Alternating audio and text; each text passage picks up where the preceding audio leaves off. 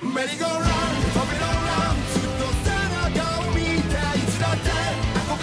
Hola, soy Bash y hola amigos, bienvenidos una vez más a nuestro canal. Y bueno, el día de hoy como ya es costumbre en el canal les traigo la review del capítulo 362 del manga de Boku no Hero Academia. Y si en esta ocasión, como ya la mayoría sabrá, tenemos una de las muertes más impactantes de todo el manga. Ya que sí, a pesar de que todo esto se le puede dar la vuelta en próximos capítulos, en este episodio se nos confirma que Bakugo ha muerto. No lo sé, hay muchas emociones encontradas, algunos les encanta, algunos están muy tristes, otros furiosos, pero bueno ya estaremos platicando y analizando todo lo ocurrido en este espectacular episodio, así que sin nada más por añadir, comencemos de una vez. Y bueno, el capítulo 362 está titulado La luz se desvanece en la lluvia. Esto claramente nos hace la referencia a la muerte de Bakugo, cosa que entenderemos de mejor manera más adelante. Pero bueno, ahora sí comenzando con el episodio, como recordaremos en el capítulo anterior, justamente los tres grandes estaban enfrentando a Shigaraki, dejando el momento crucial al mismísimo Tamaki, el cual gracias a su quirk logró crear un enorme cañón con el cual intentaría derrotar a Shigaraki. En esta ocasión comenzamos con el mismísimo Tamaki listo para atacar, diciéndonos que el destino de todos está en sus manos y que si este ataque falla todo se acabó. De esta manera Tamaki comienza a tener algunos flashbacks con respecto a personajes importantes en su vida. En primera instancia Fat Gum que le dice sé orgulloso de ti mismo Tamaki. Por otro lado también recuerda a Kirishima y al Kirishima de la clase B, los cuales le dicen eres genial senpai. Por último, como era de esperarse, recuerda al mismísimo Mirio que le dice date algo de crédito Tamaki, tienes un talento impresionante. De esta forma Tamaki menciona que iba a atesorar la honestidad de estas palabras. Sin embargo, Tamaki menciona que fue incapaz de aceptarlas en ese momento. Bajo el peso aplastante de ese tesoro, lo único que pudo hacer fue buscar consuelo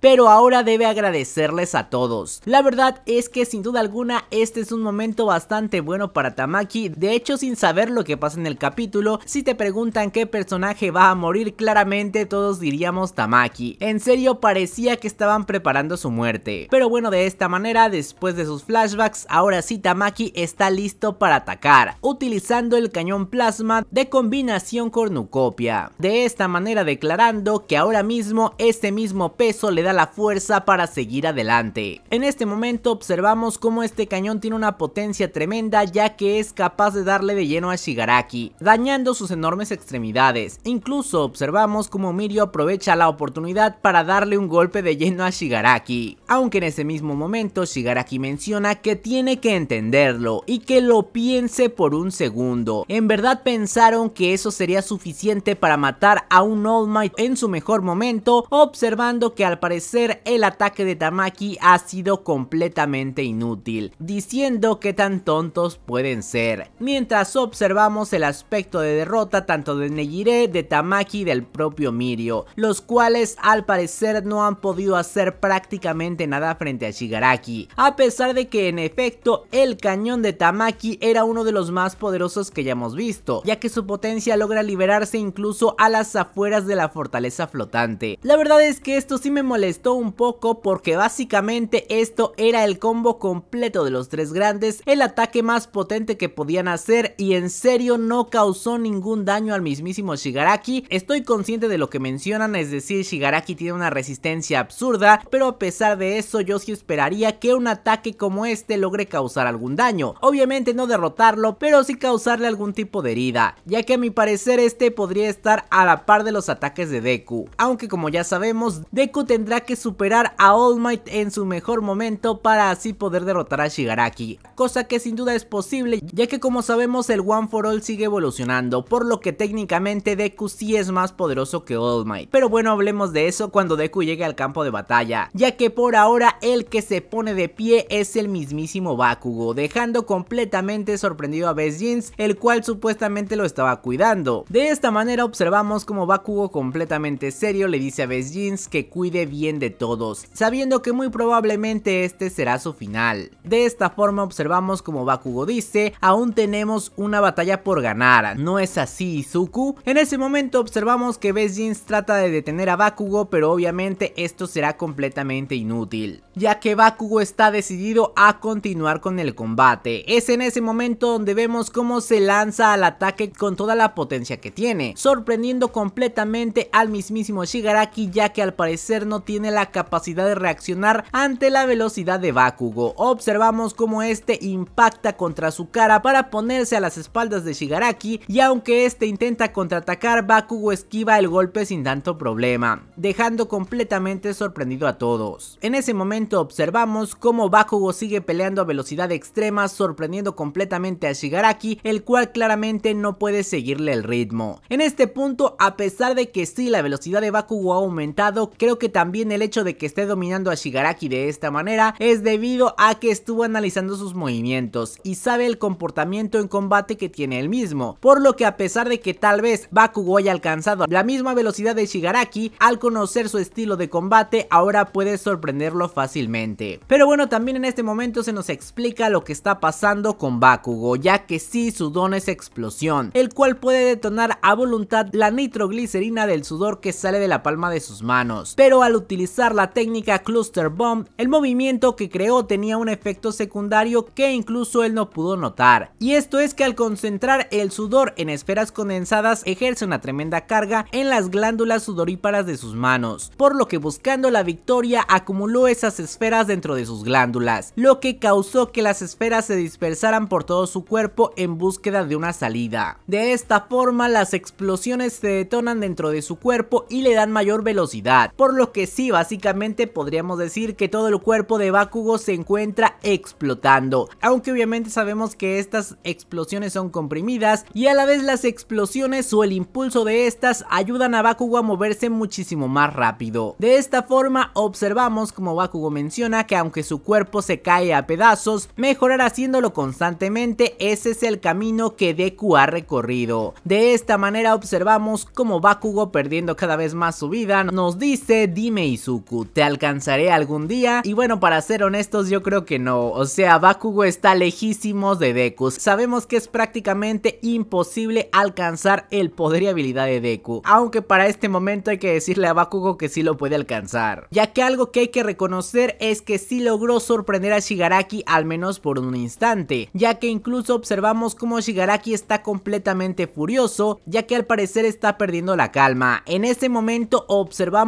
algo impresionante, y esto es que Shigaraki comienza a recordar al segundo portador del One for All, mencionando cómo es que está perdiendo la calma contra un héroe cualquiera que ni siquiera tiene el One for All. Y bueno, obviamente esto es una especie de flashback del All for One original cuando enfrentó a este segundo portador. Sabemos que a pesar de que el segundo portador haya tenido el One for All en su momento, obviamente para ese punto el One for All era prácticamente nada, si acaso un ligero aumento de fuerza, por lo que sí, el segundo portador tuvo que enfrentar mano a mano a All for One sin necesidad del One for All, por lo que sin duda alguna el quirk del segundo debió ser bastante importante, al grado de que el mismísimo All for One sigue recordándolo, el guerrero que no necesitó del One for All para enfrentarlo, y Bakugo ha logrado la misma hazaña en este punto. A mi parecer esto es lo que nos tratan de explicar, pero siendo honestos, el parecido entre el segundo portador y Bakugo es impresionante, por lo que además de esta referencia claramente hay algunas suposiciones como el hecho de que Bakugo haya logrado viajar en el tiempo y así haya enfrentado a All for One en el pasado. Honestamente esto se me hace un poco ilógico porque no hay una justificación lógica para sacar un viaje en el tiempo en este punto, así que esa teoría se me hace un tanto descabellada. Aún así no niego que la relación del segundo portador y Bakugo es enorme y posiblemente haya más secretos ocultos que no sabemos entre estos dos personajes. Y si es que Bakugo llega a revivir en un futuro, tal vez el segundo portador sea clave para esto, ya que continuando con las cosas extrañas en este punto, observamos como Bakugo aparece frente al vestigio de All Might. Así es, aquel vestigio que hemos visto todo el tiempo en el One for All. Una vez más, de alguna forma se nos está conectando a Bakugo con el One for All. Una de las explicaciones que muchos estamos analizando para esta escena es el hecho de que Bakugo en determinado momento llegó a ser portador del One for All, si es que la segunda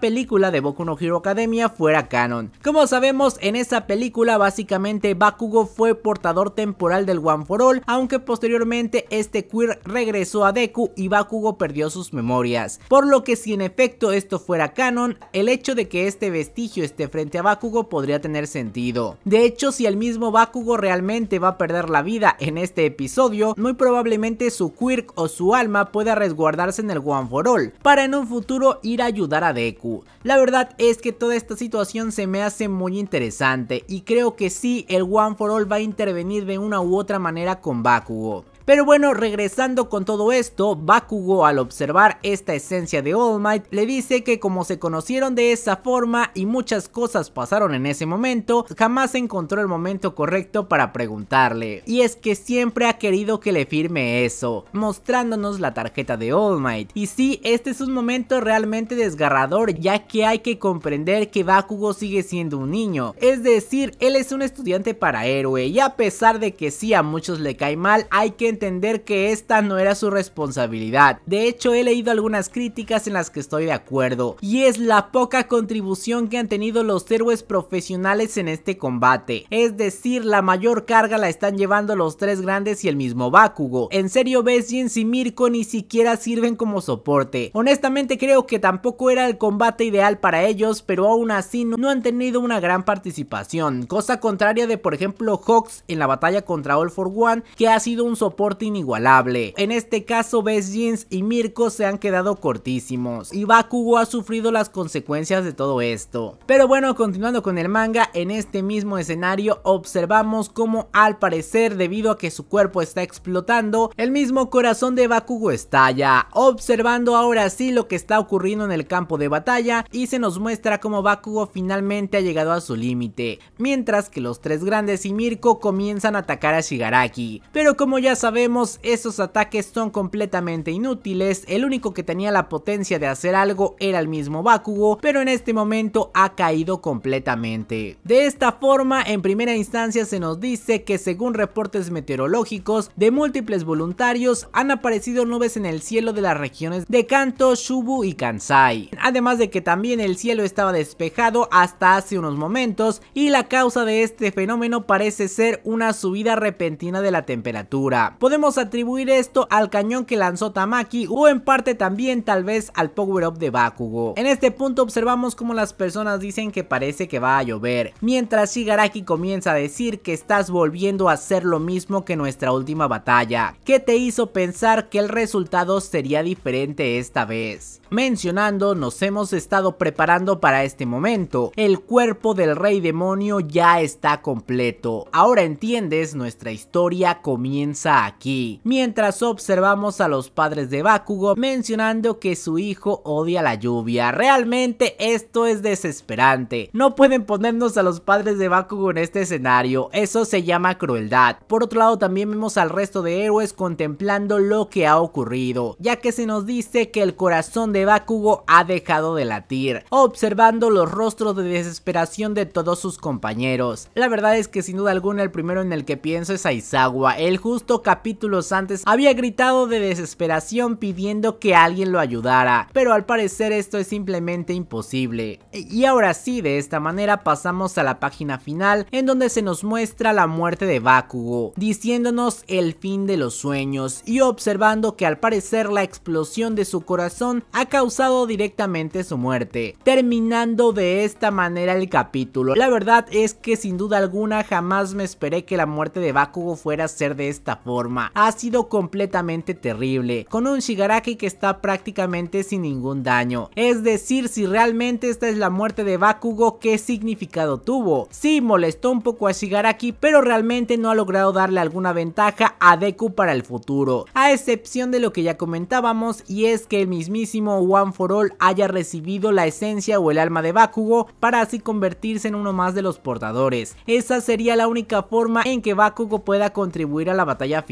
Pero realmente esta muerte ha sido impactante, aunque como dije ha sido literalmente una masacre ya que Shigaraki sigue completamente imparable. Pero bueno como ya he mencionado en este caso sí Deku sería el único capaz de enfrentar y derrotar a Shigaraki, obviamente porque Deku sí puede superar a All Might de la era dorada y obviamente con creces ya que de primera instancia su 100% del One for All es superior al de All Might, pero aún así Deku puede potenciar este poder gracias al Fajin y tal vez al Quirk del segundo portador, por lo que sí la potencia de Deku es algo que jamás hemos visto y sin duda es capaz de superar a Shigaraki. Pero bueno, por otro lado, Bakugo realmente ha muerto, honestamente yo creo que no. Todavía hay algunas opciones para traerlo a la vida, como sería alguna situación por parte del One for All o la misma Eri, aunque eso de Eri la verdad es que lo veo súper complicado. Creo que una de las soluciones más fáciles sería llevarlo al One for All y que desde ahí ayude a Deku, aunque sí sería completamente triste, ya que uno de los momentos que yo más esperaba es ver llegar a Deku en un momento desesperado y decir todo está bien porque yo estoy aquí. Pero con la muerte de Bakugo eso ya sería imposible. Así que honestamente no sé qué es lo que va a pasar en el próximo capítulo y si la muerte de Bakugo va a quedarse así. Pero bueno, tendremos que esperar dos semanas para saber la respuesta. Me encantaría que me dejen su opinión y teorías en los comentarios. Y antes de despedirme quiero agradecer a todos los miembros del canal que siempre nos están apoyando. Y muchas gracias Emanuel Castro, Lestad Almora, Santiago de la Cruz, Ernesto Albornoz, Cisneros Beat, Alcojo Gamers, Luis Macosta, Alex Gamer, Armo, Rodrigo García, Roberto Pedrero, Fanny Morales, Co, Daniel Alvarado, Soules y Bárbara Ninao. Y ahora sí, sin nada más por añadir, adiós.